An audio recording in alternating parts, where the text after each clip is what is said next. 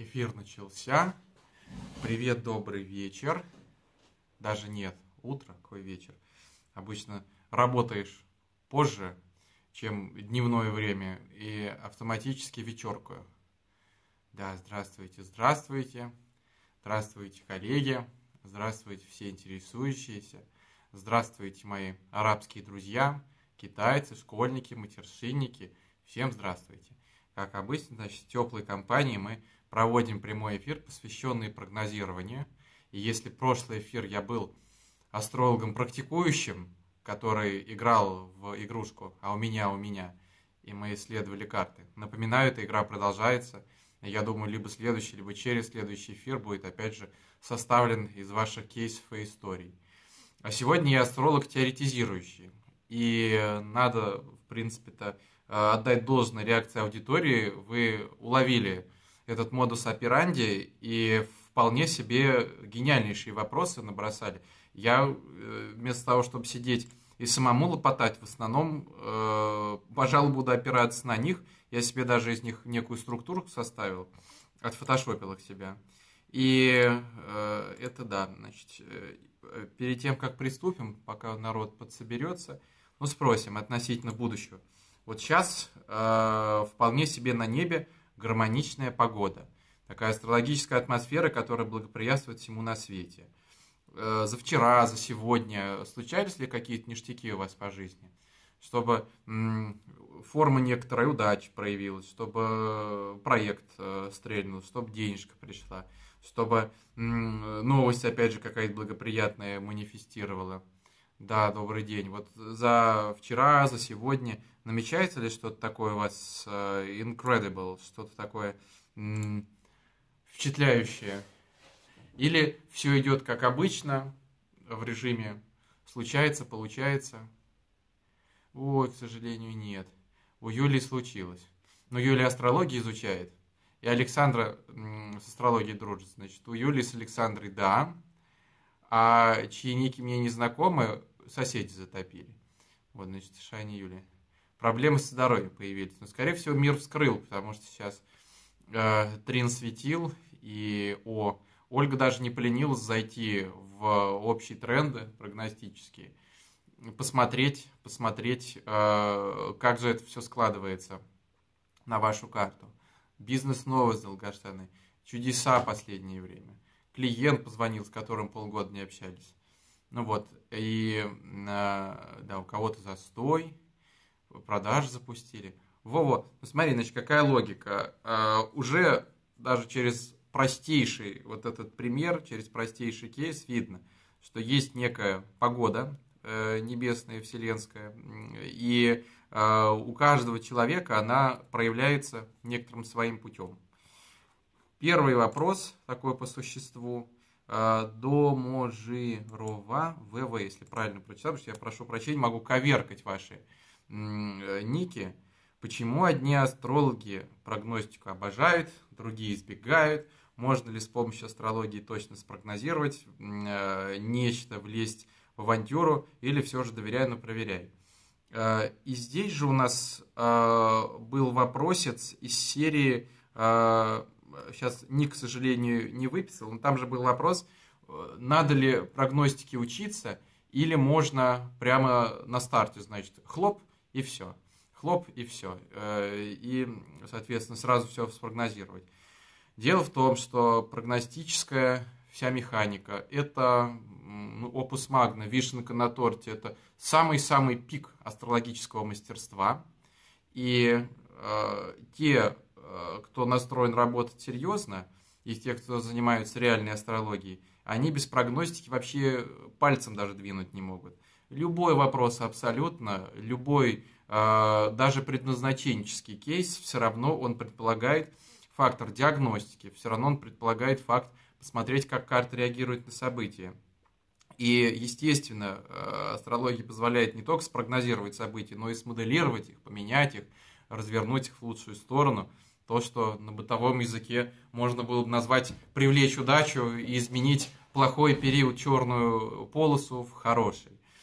А, и вот те, которые избегают, по всей вероятности, либо это недобросовестные, нечистоплотные коллеги, которые втирают за 300 рублей всякие полунапряженности характера, и гораздо легче заделаться э, каким-то кармогадателем, чем, не дай бог, мозг напрягать. И уж упаси Господь нести ответственность за свои слова. Вы же представляете, какая катастрофа? Вы же прогнозируете, и там же какие-то факты. Их можно руками, ногами проверить. Деньги, болезни и прочее. А так сказали, что у вас э, черствая карма какая-то и полнапряженность характера. Ну, человек почесал, в затылке, говорит, ну хорошо, вот 300 рублей, окей, все нормально. Да надо же, как вы э, попали, как вы точно спрогнозировали. Вот бывают, к сожалению, такие астрологи, следовательно, те, кто прям катастрофически избегают, говорят, нет, нет, на все воля Господня, не, не, не, не умеем, не будем. И, э, это должно вызывать подозрение очень серьезное. Другой момент, что есть люди, которые специализируются эксклюзивно на прогнозе, э, мы будем говорить чуть-чуть о Хараре, я там вопрос себе выписал. Есть Санкт-Петербургская академия астрологии, которая ну, фактически там конек прогнозирования, правда, с некоторым перекосом, потому что в полном соответствии с механистической такой декартовой системой, скорее Шестопаловская школа, по моему взгляду, она э, слишком фатальна, слишком обладает таким высоким степенем детерминизма. Мой первый учитель, солнечный водолей, оппозиция, Солнце, Плутон, соответственно, как раз один из первых выпускников Шестопалова, я свой путь астрологически начинал как раз с жесткой фатальности, прогноз только так и не по-другому, никак, формулы, все. И одно время я был апологетом этого подхода, но потом все изменилось, и я уже добрал некую новую картинку. Вот, поэтому, да, астрологию можно и нужно э, дотюнить, дотащить до прогностических вершин, и э, это доступно. Но это э, неким образом э, все-таки не так-то легко, это путь, э, и этот путь проходим. Мелькают опять 100-500 раз э, вопросов про длительное обучение. Будет, будет, значит, в этом году мы анонсируем. Э, и ничего страшного, обязательно все увидите. Да, э, значит, планет добрых и злых не бывает, периодов плохих и хороших не бывает, тоже про это поговорим. Дальше семь вин. Э, здравствует, и в молодости, говорит, была огромная скорость событий. Все случалось само. Зовут туда, зовут сюда. У друзей что-то интересное происходит. Даже нет времени во всем поучаствовать. События находят тебя, даже больного под одеялом. Но во взрослом возрасте встречаешься с друзьями, никому нечего рассказать, полтора борща до две стирки в неделю, просто ни у кого ничего не происходит. Почему так? О, э, вот здесь прям не бровь, а в глаз. Э, о чем идет речь? Э, само понятие времени, что это такое? Это некая форма э, энергии, это некая форма волны, и мы живем в некотором пространстве энергетическом. Можно его обозначить аристотелевским словом эфир, пятая стихия, квинтэссенция. Можно говорить там про какое-то течение дао китайское. Кто, кто на что был гораст от э, априорных категорий Канта до Эдосов Платона, каждый мыслитель приходил к э, выводу, что мы живем в неком поле. Даже физики ZPF, Zero Point Field называют его. Оказывается, это поле живое. И человек, он как кораблик плывет, плывет, плывет в этом поле. И э, поле живое, оно постоянно синхронится с человеком, взаимодействует. То есть не говоря о том, что поле еще синхронится между собой. Что снаружи, что и внутри, что внизу, что наверху, микрокосм, макрокосм, герметический принцип, все туда. А, мало того, что человек взаимодействует с полем и пуляет некие энергии в будущее, и волны идут из настоящего в будущее, так еще человек получает волны из будущего в настоящее – даже в Бауманке проводили известный эксперимент, э, установили детерминированный отрезок, когда будущее на 100% предопределено, 28 дней, лунный цикл. Вот, соответственно, Харары, э, по моему мнению, имеет смысл строить максимум вот, э, по вопросам, которые предполагают скоп, как по-русски, радиус действия 28 дней. То есть, когда нужно жестко понять, вернет ли Петя долг, согласится ли Маша на замуж, но 28 дней, 2 месяца, 3 месяца, уже все, что-то пойдет не то, потому что степень неопределенности там выше. Мало того, что этот карай плывет по волнам, взаимодействия с этим морем, так еще у него есть свой парус. И теперь вопрос, э, как вы распоряжаетесь своими этими запчастями корабельными? Надут парус, парус дырявый. Это огромный парус э, фрегата или это ваши дырявые трусы, которые висят на мачте? Это суденышко, ваш тазик такой, и вы там стоите ногами? Или это э, некий серьезный авианосец, на котором вы стоите? Значит, оказывается, у каждого из нас есть возможность, мало того, что вместо трусов повесить нормальные паруса, Мало того, что есть возможность вместо тазика сесть на настоящую яхту э, межокеаническую, так еще у нас возможность есть распоряжаться и некоторым образом э, этот парус регулировать. Поплывем в одну сторону, в другую сторону и так далее. И то, про что спрашивает наша участника, участница, случается все само, невероятная интенсивность событий. Э, только подумал, тут же получил описывается ресурсное состояние, так называемое. И перевод человека в ресурсное состояние – это самый первый пункт перед прогнозом. Когда-то, когда я был молодым и глупым, то я лепил прогнозы сразу в лоб. Да, писал табличку, там случится то-то, то-то, то-то, то-то. Кто-то спрашивал про степень сбываемости. Но вот лет, э, опять же, 8-10 назад, если половина сбывалась, я прыгал от счастья и говорил, нереально, как получилось, угадали, просто здорово, как, прекрасно. Здесь половина сбывалась, уже здорово. Но потом, по мере того, как я рос, э, я понял, что что-то тут не то. И вот эта тема, что пришел Плутон, настал кризис, пришел Юпитер, настала халява, это разговор в пользу бедных. И пространство устроено каким-то совершенно другим путем. И, например, сейчас просто прийти, сказать, хочу узнать, что у меня случится в 2018 году, ну, ко мне это невозможно сделать потому что э, вы будете неким образом пропущены сквозь фильтры. И как раз э, наведение вот этого порядка в голове, э, проведение аудита реальности, первичное ресурсирование, индивидуальный план развития, компенсация и все остальное прочее, как раз это переводит человека в тот режим, когда он на нормальном фрегате с нормальными парусами взаимодействует с событиями на правах режиссера, на правах сотворца, Потому что мир это огромный официант. Этот официант очень четко слушает, что вы говорите, причем всеми частями. Как теневыми, непроявленными, так и сознательными. Но вот, к сожалению, э, теневые качества обладают э, большей силой. И то, что у вас где-то как какие-то домовенки сидят в кармане и каркают, у меня непризнанная агрессия. Э, я тревожусь за мужа, а на самом деле хочу, чтобы муж сдох. Я так хочу денег, на самом деле это мой страх бедности. Мир этого домовенка, который сидит в кармане, очень хорошо слушает, и он обслуживает его интересы. Грубо говоря, если вы головой сознательно хотите побольше денег, а это на самом деле обусловлено страхом бедности, то мир будет каждый раз вас обламывать, потому что задача оставить вас без денег, поддерживая вашу зону комфорта. Более того, оказывается, те волны, э, те э, штормы, которые мы встречаем на пути своего плавания, они еще зависят от нашей интерпретации. То есть, если вы пьяный, э, обкокаиненный на яхте и видите, что впереди цунами, вы говорите, уху, отлично, но, как известно, пьяным везет, поэтому цунами вас не затронет глобально. А если вы тревожный такой, педантичный, рассчитали, что была погода солнечная, а впереди маленькая-маленькая там э, волнушка поднялась, вы все перепугались э, и вообще думаете катастрофа. Я-то рассчитал, чтобы хорошая была погода.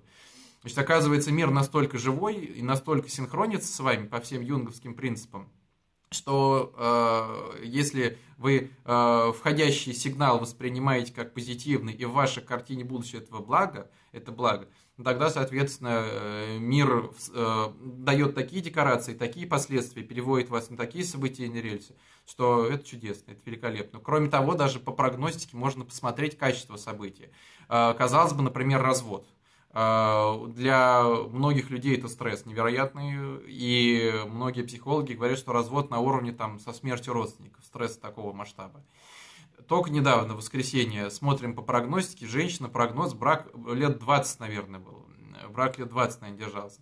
В прогностике читается этот развод как невероятное освобождение, как позитив посмотрели, спрашиваем, ну это же не катастрофа, это некое освобождение, всякие гармоничные аспекты. И женщина говорит, да, действительно, все, ну, все, кроме бывшего мужа, себя лучше чувствуют. Всем хорошо, детям хорошо, ей хорошо, реальное освобождение. Оказывается, оказывается, э, мир очень здорово на нас реагирует, и если наша картина будущего, наше принятие, наша оценка, наши отношения, наши действия, наше управление временем и наше управление собственными энергиями, все это засинхронено в единый аппарат, тогда-то, тогда-то э, плохих событий, оказывается, нет. Есть изменения, и мы внутри этих изменений делаем вывод. И все ваше будущее – это такая матрица. Изменение, выбор, изменение, выбор, изменение, выбор, изменение, выбор. Э, и если вы знаете, когда изменение, в какую сторону и какой сделать выбор, ну тогда-то, тогда-то, э, естественно, плохих событий нет. Окей. Дальше мадам Шитова спрашивает, если есть прогноз, и будучи уже предопределено, то каким образом мы имеем выбор. Вот прямым. Есть разные события, разные группы событий. А, условные, ну там 1% от всех информационных свойств, которые мы получаем из Вселенной, это такие жестко детерминированные фаталистические события. Они связаны с кармой государства, с кармой рода и собственной задачей воплощения, с, в том числе с лунными узлами, фатально. Но вот выбрал себе Стивен Хокинг оказаться паралитиком какой-то ребенок э, выбрал э, вообще умереть в раннем возрасте. Более того, ребенок не успел потерять э, контакт со своей памятью. И бывает даже люди сообщают, в том числе, мама молодая мне сама рассказывала, ей дочь говорит, мама, я умру скоро. Мама в шоке, говорит, что, дочь, все нормально и так далее. Нет, дочь взяла из окна, вышла и, соответственно, погибла. То есть сама дочка сообщила, сам ребенок помнит, настолько эта контролирующая система сильна, что действительно ну, очень сложно что-то с этим событием сделать, но их реально минимум минимум-минимум невероятный. А, часть событий родовые. То есть, если умирает бабушка, вы хоть на ушах стоите, вы можете воспринимать это событие как угодно, сказать, как там в детском анекдоте, бабушка умрет, я поиграю в ее швейную машинку, отлично, значит, хорошая будет смерть. Или бабушка умрет, сдам ее квартиру, уеду в Таиланд, буду творческое путешествовать тоже вариант такой катит. Ну, э, может быть, для вас смерть бабушки будет трагедией какой-то невероятной. И, и такое может быть. Но в любом случае ваше восприятие будет неким образом работать на реакцию эмоциональную, на ваши последствия потом. То есть, либо это депрессия, и вы два месяца будете лежать, рыдая, и вся жизнь посыпется. Либо это будет ощущение свежего старта. Вот на это мы влияем, как на э, первую нашу эмоцию, которая возникает, так и на последующую реакцию. Э, или то же самое, если мы говорим о э, карме государства, вот есть сколько там, несколько сот тысяч жителей Хиросимы, Нагасаки. Им на голову летит атомная бомба. Ну что, они прям сидят, картину будущего настраивают и принятие включают, ну все равно бомба упадет. Или вы, ну думаете, я человек спокойно, не рискую, все, вы идете где-нибудь по улице спокойно, Спускаетесь в переход, обычный, ничего там особенного. Осматривайтесь по сторонам, чтобы перила можно было подержаться, чтобы не было скользко. И хренакс вам в спину въезжает автобус, и у вас нет ног. Ну, вот просто раз и случилось. Соответственно, фатальные события. Вы можете по-разному воспринимать это событие. Как там есть пять стадий э, восприятия смерти любой трагедии, когда человек сопротивляется, торгуется, смиряется, опустошается, думает, как жить по-новому. Но вот с такого рода штуками вы ничего не сделаете, ну, физически, значит, оно вписано и все. Это один процент событий, очень мало, и это видно прямо за километр. То есть, по идее, посмотрев на дочку Уитни Хьюстон, э, астролог сразу так невооруженным глазом может сказать, ну, примерно там 20 э, столько-то лет, и дочка откинет кони. Потому что вот такая у нее мама, такая у нее судьба. Но это редкость просто вообще невероятная. А остальные 99% точек – это изменение выбора, изменение выбор. И если, получается, мы говорим о предыдущем э, случае, о предыдущем вопросе, вы в ресурсном состоянии, вы являетесь сотворцом, вы знаете, кто вы, для чего вы, зачем, вы не абстрактный созерцатель, который комментирует, а вы участвуете в этом самом событийном потоке, и у вас все атрибуты необходимые установлены на вашем волшебном корабле, ну тогда, конечно, тогда у вас невероятное количество и плотность событий. Есть люди, у которых за 10 лет ничего не происходит, есть люди, у, которого, у которых за день э, столько событий, что у других за год не бывает. В том числе, если мы говорим о людях, которые в творчестве или в бизнесе, у них там по, каждый день по 5-6 кризисов. А люди, которые живут в полуовощном состоянии, у них, дай бог, там один кризис 20 лет, и то они потом 30 лет еще переживают по этому поводу. Но здесь вот есть некоторый нюанс. Леон, Ле, Леон Лида, Леон Лида, по-моему, значит, Лида, наверное, с третьего потока, есть подозрение. Э, была ситуация просто ад. Э, в силу экстравагантности происходящего мозг работал на 100-500%, и э, Лида делится опытом, что она прям перемоделировала ситуацию в процессе. И вот э, вопрос, каждый ли прогноз можно так вот вытянуть, находясь внутри ситуации, перепрыгнуть с, того, с одного этажа событийности на другой. В 99 из 100 случаев да. Ну, когда ваша дочка не выпрыгивает из окна и вам в спину не въезжает автобус. Вот прям раз и все дискретные события называются. Бывают события длительные, то оно тянется, тянется, тянется волнами. Такое очень легко менять. Таких событий, кстати, большинство, э, это определяется прогрессивными циклами, дирекционными циклами, транзитными петлями. То есть прям видно, идет затравочка, потом идет развитие ситуации, потом кульминация, потом первое послевкусие, второе послевкусие. Ну и представьте, судьба вот она сначала рисует крестик, потом ставит гвоздик, потом молоточком тук, наживит потом, соответственно, пук, еще больнее, а потом джич, со всей силы, значит, припечатывает этот гвоздь. И вот э, если э, идет э, именно не дискретные события, а длительный такой кризис по волне, значит, э, мы можем это событие засечь уже на стадии постановки крестика. Э, вплоть до всяких историй, допустим, смотрим точку, спрашиваем, что там болело, человек говорит, коленка. Потом говорим, вот эта точка, эта точка, там, соответственно, перелом, а тут, соответственно, ухудшение, еще сепсис какой-то будет суставы. И даже можно понять, что если заболело это место, то оно же потом и сломается. Но, естественно, можно в таком режиме его э, перекрыть просто в ноль и вообще, соответственно, не париться. Следовательно, следовательно, э, если ситуация экстремальная и клюет человека в самое мягкое место, тогда он начинает волей-неволей метаться и находит те ресурсы, которых, ну, вообще, казалось бы, нереально найти. А, но в обычном овощном состоянии, к сожалению, многие спят до тех пор, пока не накипит. Э, Елена Патиупина, если правильно читаю, прошу прощения, если ошибся. Сможет ли Сурок, зная прогноз, компенсировать негатив, воспользоваться плюшками неба по полной, или не хватит энергии, даже если будет знать, что делать? Ну вот Сурок, Харек, Бобер, неважно кто, э, момент такой, что не с нами что-то случается, и не события сбываются, а мы их случаем и сбываем. Вот относительно плюшек, э, чтобы они образовались, необходимо проинвестировать в них свою энергию. Это что угодно, от э, выученной астрологии до денег или еще чего-то, или до мужа мечты. И тот муж, который есть, те деньги, которые у вас есть здесь сейчас, ну, это прямое отражение вашей идентичности. То есть вы достойны этого человека, вы настолько энергетически емкие и настолько же и получаете денег и так далее. То есть система не терпит никаких э, нестыковок. И если вы пошли, раскачали круглую попу, одели шмотку, накрасились и думаете, теперь у меня будет муж-миллионер, ну вот он может быть на пару ночей, да, но это вам будет казаться, что он муж, а ему будет казаться, что он развлекается. Значит, для того, чтобы соответствовать чему-то большему, ну, необходимо, что называется, качнуть себя изнутри. И это же относится э, к суркам, к бобрам, к попугаям, котам и прочее. Вот обратить минус-плюс, если мы говорим о катастрофе какой-то вселенской, наверное, развернуть можно всем, потому что есть понятие этажности. И э, если вам поставили диагноз рак, то вполне можно взять и пораскидать это по другим этажам 6-8 дома, рак войдет в ремиссию. Э, рак войдет в ремиссию. Если мы говорим о серьезных достижениях, то для сурка эта тема достижений физически закрыта.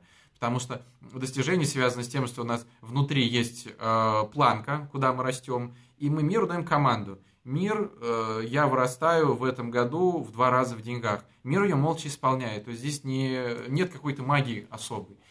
И для этого не нужно сидеть и симаронить, и колдовать, э, и ритуалы какие-то загадывать. Нет, мы просто миру даем команду в правильном состоянии, когда в нас работает дух – то вот эта частица сотворца, она очень четко корреспондирует с всей матрицей естественный ход событий. Естественный ход событий просто тупо бомбит нас возможностями. Остается просто взять. И постоянно происходит пинг-понг. Мы даем, нам возможности забираем. Мы даем, нам возможности, мы опять забираем.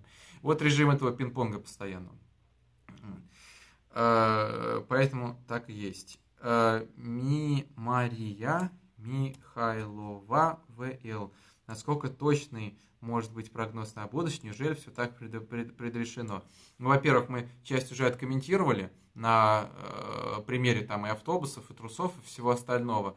Э, вот насколько точно. Я вам говорил, что начинал примерно э, 50-50. Если что-то случится, то ух, вот это надо же, волшебство нереально, как такое может быть. Э, сейчас, ну, там в зависимости от э, типа человека и от длительности с ним работы, то есть там от 99 до 70. примерно такой коэффициент. Если мы обменялись пару раз фразами, и я что-то по-быстрому набросал, ну там будет в районе 70. Те люди, которых я прогнозирую годами, по 5, по 6 лет, там 99 там 99. Единственное, что бывают типы событий, там плавающие, специфические, например, та же смерть бабушки. То есть, если бабушка умирает, то это событие должно быть прописано в картах всех внуков, э, всех родственников, ее соседей. И там ну, не всегда получается вычленить, даже иногда месяцем промахиваешься. Более того, э, там же в карте видна, например, критическая ситуация, связанная со здоровьем бабушки. И пишешь там три точки. Вот это, это, это. Соответственно, бывает, что бабушка умирает в первую критическую точку, бывает в третью. То есть не всегда, но настолько, настолько в лоб. Но э, предрешено процент на 99, да. Э, есть, конечно, какая-то божья воля, есть какой-то, конечно, э, казус, счастливый случай и прочее, я этого вообще не отрицаю. Но именно вот с такой астрологической позиции работает. Еще интересная штука про время. Как научиться управлять временем, мадам Кондрашова. А, Дарина Ирина, если в карте указание на скорость внутреннего времени или видны только отдельные показатели, можно ли уменьшить, увеличить скорость внутреннего времени?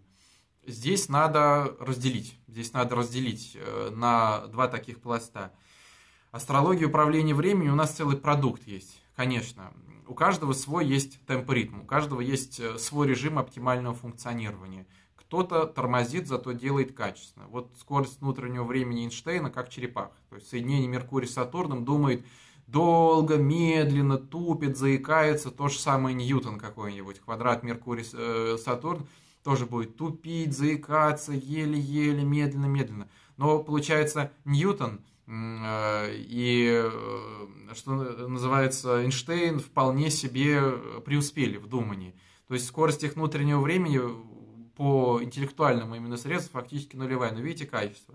Бывают люди, у которых конек, наоборот, скорость. И быстро-быстро, вперед-вперед, раз-раз, но мы э, к скорости получаем ну, э, вторую сторону медали, трейдов то, что называется поверхностность. То есть скорость равно поверхности автоматически, а тормоза равно глубина автоматически. И у каждого человека есть общая скорость внутреннего времени, общая скорость. То есть бывают люди прям нереальные тропыги, бывают люди подтормаживают. У тебя тормоз, например, абсолютный.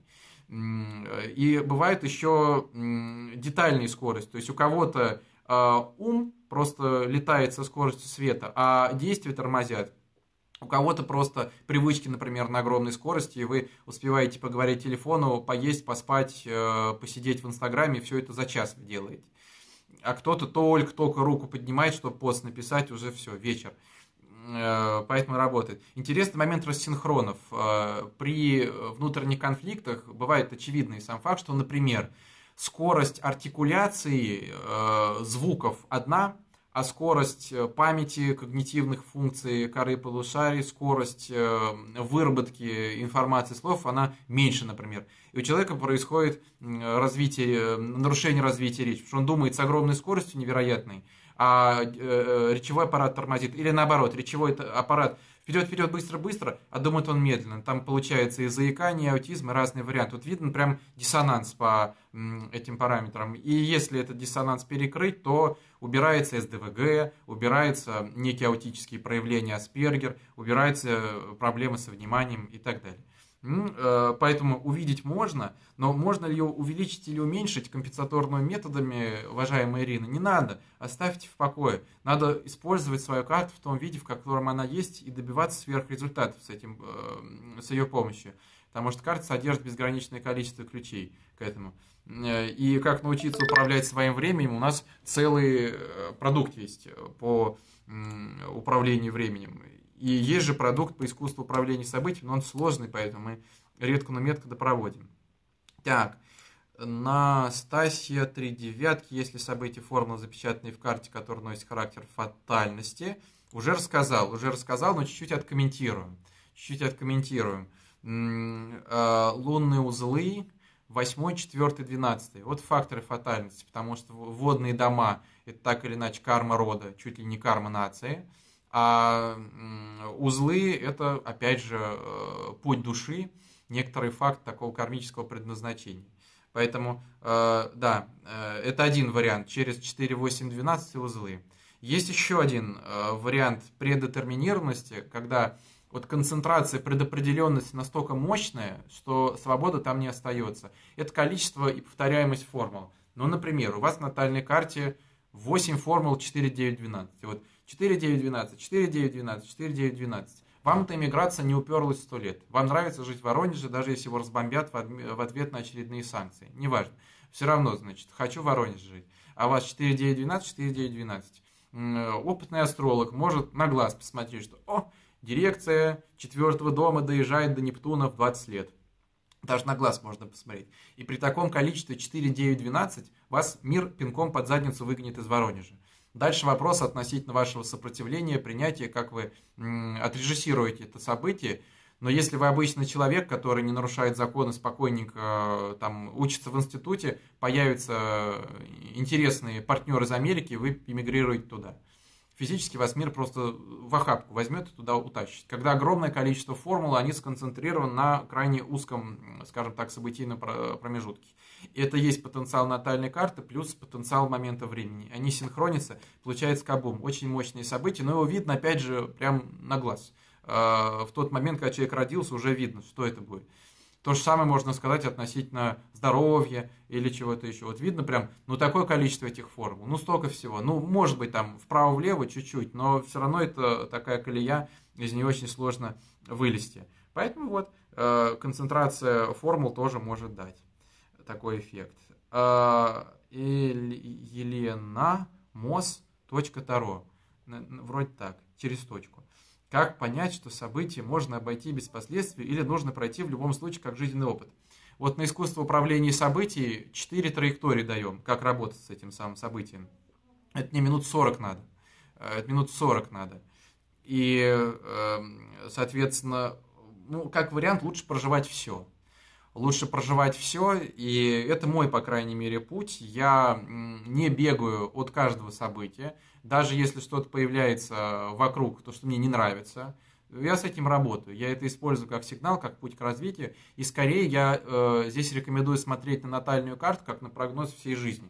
Потому что, опять же, есть э, прогностика э, по наталу, э, э, есть компенсаторная астрология натальная, есть компенсаторная астрология событийная, которая ловит прям момент. Вот у вас в моменте воспаления э, костного мозга какого-то, и раз вот это снимается. А я вообще по, опять же, своим таймпоритмам по своему времени мыслю масштабами большими. Поэтому мне, в принципе, пофигу, что происходит сейчас. И если происходит то, что мне не нравится, от кошки, которая надула мне на коврик во время ведения занятия, до я еду на велике и на пустом месте фигакс э, падаю и разбиваю себе коленку в кровь. У меня до сих пор вся коленка в шрамах, как будто мне резали какими-то цепями. Но вот бывает. То есть я смотрю, какая уязвимость была поддета в моей энергетике, в моей психике, в моей натальной карте. В этот момент ее закрываю. Ее закрываю. Поэтому здесь вот именно бегать от всех событий не надо. Значит, проживать безусловно. Компенсировать, если это какая-то нереальная адовая адище и грозит чем-то проблемным. Э, но самый печальный вариант, наверное, это сопротивление. Вот единственный такой самый богий вариант сопротивления. Почему? Вот другой возьмем отвлеченный пример. Пример. Бывает человек эмоциональный, бывает истеричный. В чем разница? Эмоциональный, он чувствует здесь сейчас, его кто-то обидел, он расплакался. Истеричный, это он сопротивляется, напрягается, терпит, ждет, а потом, как, как это, значит, псих начинает э, бегать и крошить всех, э, как Брейвик, например. Вот он ходил, держал себе, держал себе, держал себе, держался, потом взорвался и пошел перестрелял всех вокруг. Значит, вот эта история, э, которая показывает отличие эмоционального человека от психотичного истерика. Вот здесь то же самое. Вот вам мир дает первый сигнал, второй сигнал, третий сигнал, четвертый сигнал. И вот вы говорите, нет, нет, нет, нет, у меня хороший брак, у меня хорошая работа, стабильность, комфорт, все, не буду ничего менять, но потом мир вас э, поганой метлой начинает сметать. И обычно люди приходят к астрологу в этот момент и говорят, вдруг, вот вдруг случилось, вдруг э, нас, э, нас, плохой период наступил, вдруг настала черная полоса, вдруг вообще ничего не бывает. То есть, если вы что-то уловили вдруг, Следовательно, вы очень долго что-то игнорили, очень долго что-то терпели, и оно висело на соплях.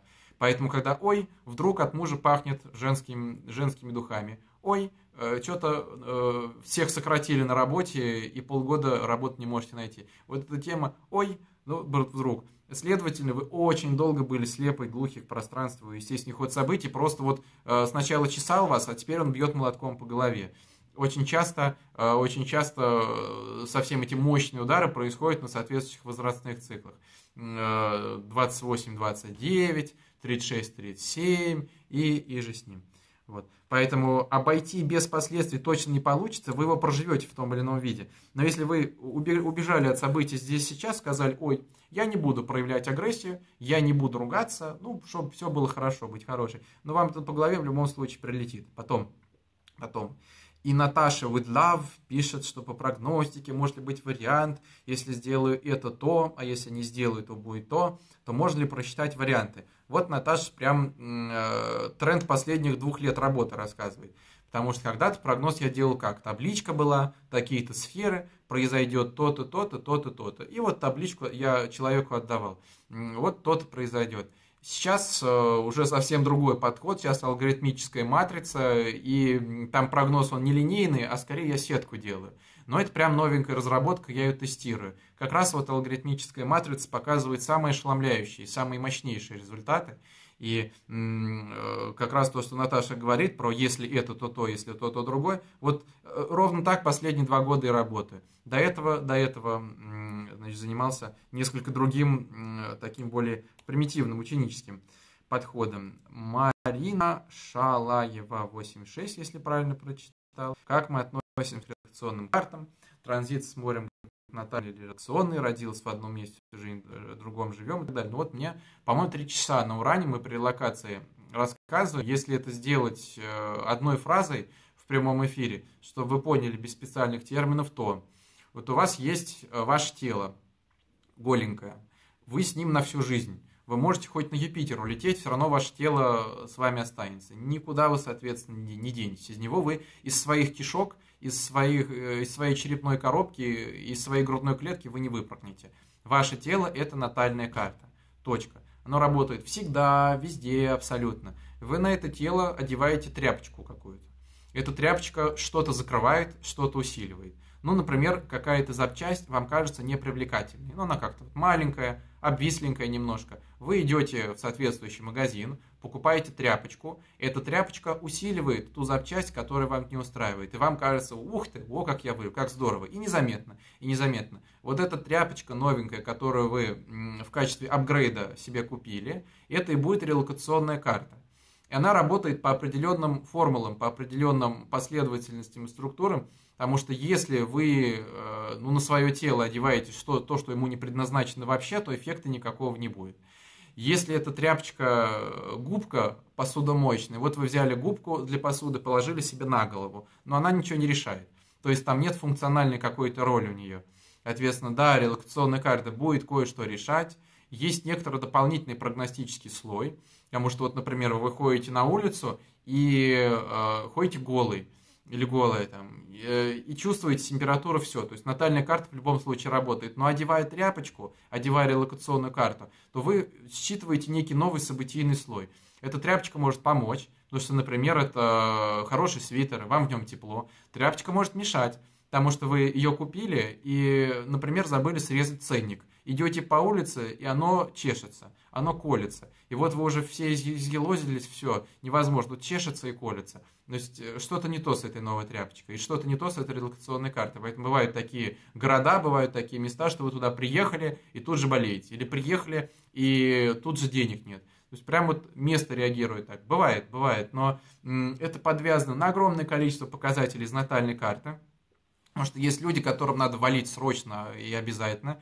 Есть люди, которые куда бы ни переехали, им все пофигу. Есть люди, у которых вообще э, стоит некий запрет, точнее отсутствие одобрения судьбы на переезд на совершенно другие территории, в другой социокультурный контекст.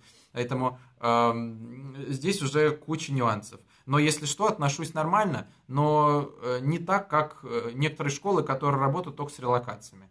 То есть, э, опять же, помню, Шестопавловская школа, СПБ и А, с некоторыми преподавателями общался, тоже балуются. Натал забываем, строим только релокацию. Вот в этом городе вы балерина, потому что у вас такие формулы, а в другом городе вы летчик дальней авиации, потому что другие формулы складываются. И вот хоть трава не расти. Я не поддерживаю этот эффект, потому что вот ваша натальная карта, вы от нее никуда не денетесь. И если мы говорим про обычный такой прогноз, бытовой, житейский, то смотрите натальную карту, не ошибетесь. Если у вас суперсложный случай, вы просчитываете э, какому-то адвокату супер важное заседание, ну тогда много что учесть надо. Релокация, это еще не, не единственное, что надо учесть. Но там будет много. Там будет много всего. Поэтому отношусь, но аккуратно, лояльно и так далее. Лил Бизнес. Почему не работает спортивная харарная астрология, предсказания результата матча и так далее? Вот я обещал, а, обещал по э, харарке чуть сказать, что есть э, успешные кейсы работы харарных карт, безусловно. Есть прекрасные ученики у меня, которые сами занимаются и преподают эту харарную карту. Есть мой учитель харарной астрологии Юрий Юрьевич Олешко, который, ну, пожалуй, я вот буквально пару человек могу вспомнить, кто реально повлиял на меня, на мое становление как специалиста. Но вот э, Юрий Юрьевич э, преподавал харарную астрологию, но мне он поставил астрологическое мышление. То есть после него у меня очень важное переключение произошло в голове и нереальный прогресс, причем не по харару. А с хараром фишка такая, что э, как будто белые, белые пятна, есть их много. То есть чего-то мы не знаем, там, чего-то очень важного. Если кто не в курсе, Харар – это гороскоп вопроса, когда можно спросить что-то совершенно конкретное. Приедет ли сегодня электричка, пойдет ли сегодня кот в лоток, изменит ли мне сегодня вечером муж, вернет ли мне Вася 500 рублей и так далее. Есть астрологи, которые только на этом и специализируются. Я на этом не специализируюсь, я использую Харар точечно, как некая дополнительная такая разведочная методика – он противоречит духу моей работы, потому что, говорю, вот, э, экспериментально установлено то, что Харар далеко не смотрит. Харар, ну, месяц, э, а то и вовсе более короткие такие интервалы. Когда у меня вопрос, ну, который предполагает э, такую точность э, и, и точечность, что нужно что-то проинвестировать, или что нужно заказать машину, или что нужно понять, есть ли в земле, которую я покупаю, какие-то подвохи там, э, не, не будет ли проблем с лимфодренажом, нет ли там э, каких-то взаимодействий близлежащего болота с моей землей, ну тогда я посмотрю. Тогда я посмотрю. Но по всем остальным пунктам мне совершенно пофигу, что будет завтра, потому что я мыслю пятилетками.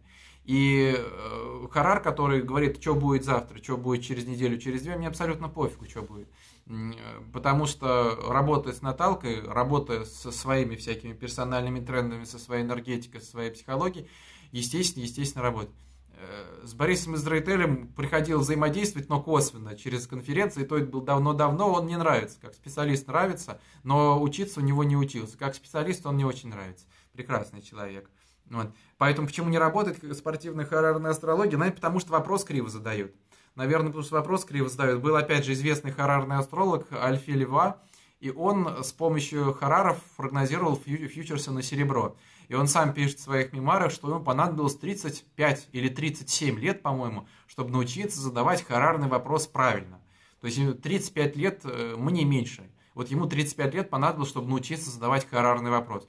А так как все-таки я занимаюсь практической астрологией и специализируюсь на бизнесе, на финансах, вот ко мне придет человек э, и захочет сделать прогноз, я говорю, ну давайте вы мне там пару миллионов заплатите, и мы 35 лет будем учиться задавать вопросы. Вы мне будете пару миллионов в месяц платить за это. Ну, а 35 лет я вас буду учить задавать вопросы. Ну, мне, мне как-то неинтересно это. Опять же, и в реальных таких обывательских условиях э, этот харар э, ну, применим плохо. Но есть те, кто им занимается, я отношусь с уважением абсолютно. Сам я его не преподаю, использую точечно и э, солидарен со многими коллегами, которые говорят, что работает криво. Работает криво. Э, и, ну, так или иначе, так или иначе, э, здесь уже на ваш, что называется, страх и риск. Так, это да, ответили. С какого возраста можно увидеть что-то в прогнозике у ребенка, спрашивает Ма Таня, если правильно прочитал, опять же. У стариков и у детей прогностика работает специфическим образом, не так, как у взрослого человека. Условно, это первая квадратура Сатурна лет с 14 и возвращение Сатурна 58. Вот с 14 до 58 прогностика работает конвенциональным путем, то есть все стандартные формулы, все наши э, механизмы, они работают под этих людей. 14, 58. Значит, с 58 плюс э, есть своя специфика. Ну, например, рождение ребенка у 60-летнего человека, как правило, это рождение внука будет. И там еще много всяких нюансов, связанных с семейными бюджетами и прочее, э, связанных с работой родового эгрегора в том числе. У маленького ребенка до 14 лет, э, ну и подростков в том числе, тоже есть своя специфика. Там прогнозировать-то можно, но будет криво, будет нестандартно все. Почему? Ну, например, у маленького ребенка в карте развод. Прям видно все, дирекция из транзита, все, развод при развод. Как правило, это развод родителей. У маленького ребенка в карте событий рождения ребенка. Ну, в 12 лет, конечно, бывают специалисты, которые рожают. Бывают затейники такие. Но, как правило, это родится брат-сестра. Или у маленького ребенка огромное количество событий на МЦ. Просто термоядерные события невероятные. Думаешь, ну что, его уволят, что ли? В тюрьму его посадят? Ну, вряд ли. Как правило, это либо здоровье, либо семейное какое-то событие. И прогнозировать тяжелее, но можно. Прогнозировать тяжелее, но можно. Но поэтому с какого возраста можно увидеть, в принципе, с любого, если знать как. Но та классическая прогностика, которая пишется в справочниках, в интернетах, она с 14 до 58 дает неплохие результаты. Допустим, если кто умеет пользоваться. Но потом есть свои нюансы особенности, но я научился. То есть я присуропился, в принципе, сейчас, э, опять же, в районе 90% э, мы попадаем неплохо. Так, э, и этот интересный момент. И еще шикарный вопрос. Астролог Ольга Карелина. Транзиты Плутона спрашивает. В частности, мажорные. Соединения квадрата с Солнцем так ли страшны, как описывается в традиционной астрологии? На форумах почитаешь, у многих проходит лайтово. Очень интересен наш взгляд на этот временной этап жизни людей. Но здесь, конечно, это весь курс Уран плюс э, вебинар э, искусство управления событиями мне понадобится, ну так, э, несколько дней, чтобы тараторить подряд на эту тему и хоть что-то выдать. Но э, в чем фишка? Э, действительно, есть факт. Э, во-первых, в книжке написано, пришел Плутон на Солнце, секир башка, Плутон на Луну, рак, э, умрет мама, Плутон на Меркурий, голова опять же отвалится, речь парализуется, самолеты, машины, все взорвется. Пришел Плутон на Венеру, нет ни денег, ни отношений, Плутон на Марс пришел, все, у вас импотенция, и э, изнасилует вас в подъезде ваш же собственный код вот это такая лобовая трактовка, которая в том числе присутствует и в книжках которую я сам иногда рекомендую, Драгановская книжка по транзитам, например, она неплохая, но она рассчитана на среднюю температуру по больнице. Э, и имеется в виду такой средний человек, который особо собой не занимался, э, не компенсировал ничего, он не находится ни на вершинах своего эволюционного развития, но и с другой стороны, он не находится в глобальном коматозе. Почему? Потому что для того, кто в глобальном коматозе, скорее всего, он этого транзита не заметит, но потом ему пролетит очень сильно. Э, для тех, кто находится на вершине своего духовного развития, на вершине эволюции, но, скорее всего, этот Плутон принесет только плюсы. Только плюсы принесет абсолютно.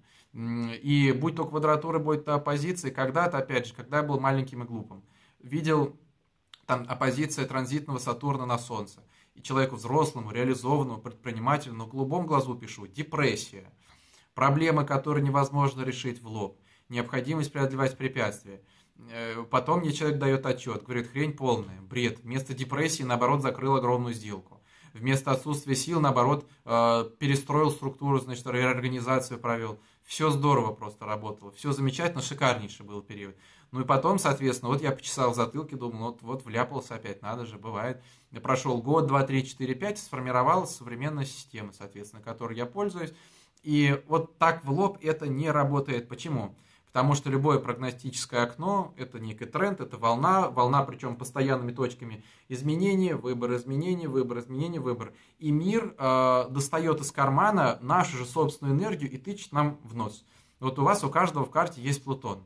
Вот эта комбинация ОМОНовца и порнозвезды и дракона Смоога из Хоббита, который ворует золото, жжет крестьян и пожирает девственниц. У каждого он есть. У кого-то он сидит в деньгах у кого-то, не знаю, в информации, и тот будет Чак Норрисом по телефону. У кого-то в доме брак, поэтому вы э, довели своего мужа до седины в его 25 лет.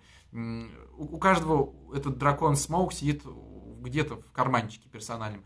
А тут в прогностике происходит перестановка. Как пятнашки такие переставляются. И ваш персональный дракон залез вам на асцендентное физическое тело. И если вы используете его по назначению физически всю жизнь, тогда это один вариант. Тогда это один вариант. Тогда, ну, например, вы выйдете на публику. Когда у меня Плутон по асцендент э, ходил, я взлетел в деньгах где-то в раз 40 примерно. И опять же по популярности взлетел. Когда Плутон ходил по асценденту, я избавился от э, неких проблем по позвоночнику. В чем э, как бы мир меня навел на эти мысли. И я не помню ни одной гадости вообще физически. И то же самое со всеми остальными факторами, со всеми остальными показателями. Более того, э, когда я тот же самый Плутон анализировал, до этого он на Марс наезжал. Э, но я не знал современных алгоритмов, не умел ничего компенсировать. Тогда у меня опухло пол головы. Зуб опух, потому что там Марс проблемный в карте. И с тех пор у меня все зубы, как у дедушки, искусственные. Ну, э, вот э, прям видно по контрасту. Человек взошел на некий новый уровень эволюции, хренакс Плутон совсем другой дал. И Плутон в этом плане благодатный в плане петель. То есть он первый раз вас ударил по жопе достаточно больно, и вы думаете, о, надо меняться. Потом вторая петля плюс, третья два плюса, четвертая пять плюсов. То есть вы видите, как в моменте вы эту петлю начинаете использовать в плюс. Поэтому, ну, смотря как вы пользуетесь энергией, тот вселенский официант раздает вам внешние условия, внешние декорации. Но помните, что мир не дает вам ничего нового, ничего того, что не было бы внутри вашего потенциала. То есть актуализируется то, что и так в вас. Но просто вы можете сказать, что да нет, я добрая, позитивная, никакого Чак Норриса по телефону у меня нет, а тут фигакс вас начинает материть, вас начинает ругать внешние обстоятельства. Вы говорите, да я же спокойная, там простая, добрая, что меня матерят кто-то. А, а у вас внутри фактор этого вербальной баталии, например, есть, и вы его, соответственно, работаете. В принципе, вот, в принципе, вот что можно, что, что можно сказать. И на форумах действительно вы можете увидеть совершенно контрастные темы. Кто-то пишет, Плутон прошел по Солнцу в Козероге, вся жизнь развалилась. Кто-то пишет, да ничего особенного, замуж вышел, забеременел, и вот и все. Значит, следовательно, вот тот, кто пишет ничего особенного, но находится в полуовощном состоянии, но с Плутоном дружит. Тот, кто пишет про все развалилось абсолютно, и гадости, и катастрофа, тот опять же с Плутоном не дружит, и Плутон просто изничтожил этого человека. Тот, кто говорит, наоборот, открыл бизнес и э, позитивная ситуация, то люди более-менее близки к своему ресурсному состоянию, более-менее дружат с этим самым Плутоном. Поэтому вот, поэтому вот. Но э, вот э, если ответить еще раз, может ли быть такое, что транзит Плутона вообще пройдет незаметно? Конечно, в легкую. В легкую абсолютно. Может пройти незаметно, но потом проходит лет 10, и вы обнаруживаете, что у вас э, опухоль где-то в позвоночнике, которая уже на четвертой стадии, ее фиг удалишь. Проходит лет там 5, и вы обнаружите, что отца там какой-то запущенный инсульт непонятный. То есть оно, оно вас догонит в любом случае. В моменте вы не заметите. Но фишка в том, что система-то она универсальна, работает законы сохранения энергии, там, законы Ньютона, термодинамики, все работает идеально. И вы это увидите, вы это увидите, но просто не, не сразу, а завтра. Здесь у мира есть инерция, и эта инерция работает всегда безусловно. Вот. Э, ну и пару на этот самый, значит, на засыпку. Лил Би спрашивает, астрологи говорят, прошлой жизни были тем-то, поэтому надо в этой жизни делать то-то. Но если душа проживает э, хреновую тучу тысяч жизней, то какая разница, с кем она была в прошлой жизни. Но махонький комментарий, что э, вот вы э, до этого были бухгалтером, потом стали юристом, потом забили на все, пошли на психфак и изучаете рейки. И сейчас опираетесь на багаж э, психологического образования и стали мастером рейки. Про юриста, бухгалтера не помните. Вот то же самое у души то же самое у души, когда э, вы прошли это воплощение, это воплощение, это воплощение, появился совокупный опыт, из этих двух кирпичиков вы построили третий кирпичик, и когда вы приходите сюда, в это воплощение, вы же не весь э, кирпичный завод тащите, вы тащите пару инструментов. Поэтому, если вы профессиональный астролог, вы видите не одно воплощение, а вы видите их спектр вы видите их спектр, более того, видите иерархию, что было раньше, что было потом, где что было накосячено, каких персонажей из прошлых воплощений принесли мы сюда, чтобы косяки исправить. То есть там карта начнет играть всеми цветами радуги. И э, душа притаскивает махонький кирпичик, который ей нужен для строительства некоторого нового здания опыта. Но не все, но не все, поэтому не, не переживайте относительно 10 тысяч. Э, Мила Венецианская, видимо, не дождалась кураторского часа в этот четверг, спрашивает, насколько далекое будущее имеет смысл прогнозировать. И стоит ли клиенту по ретро-прогнозу рассказывать об упущенных возможностях. Ретро-прогноз – это ситуация, когда вы человеку называете его прошлое, не зная о нем вообще ничего. У человека в этом случае бывают разные реакции, слюноотделительные, потоотделительные, эрекция головного мозга, бывают там глаза из орбит вылазят, ну разные ситуации случаются. Стоит ли клиенту рассказывать об упущенных возможностях, я рассказываю потому что это наглядно показывает, что вот у вас тогда э, была перетряска на работе, а на самом деле этот мир пытался вам новую должность дать. Если вы сейчас поступите вот таким образом, то у вас будет новая должность. Если не поступите, тогда перетряска будет еще больше. Поэтому я, в принципе, рассказываю, но не с позиции э, обругать, сказать, ух, вообще позорище, а это скорее с позиции прояснить текущее, настоящее.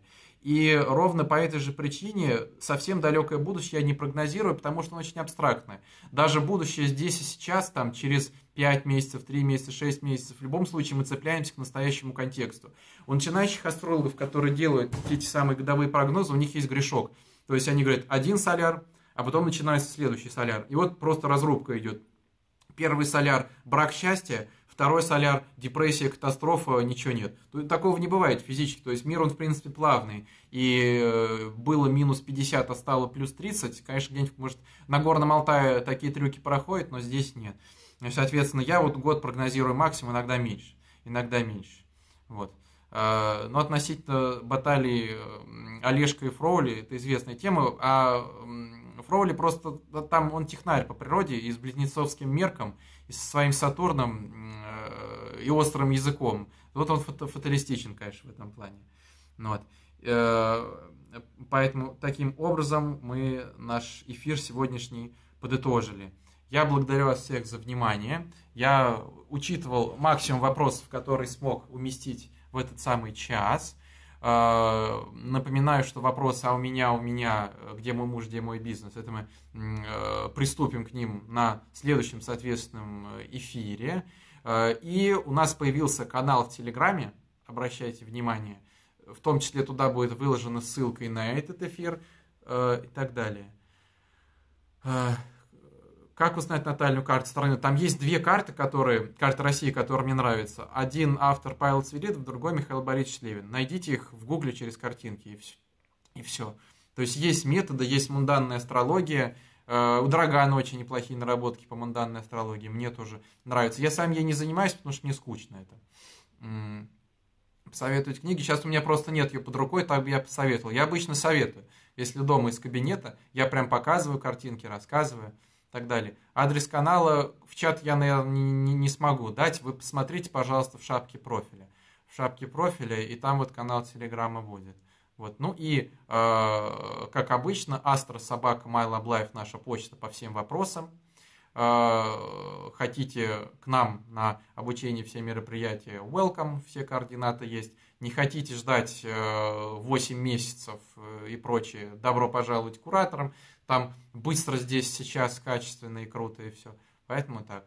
Ну, э, было очень приятно. Всем пока. До встречи в эфирах.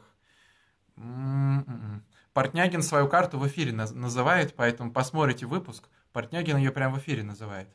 Поэтому не переживайте. М-м-м. Все, круто.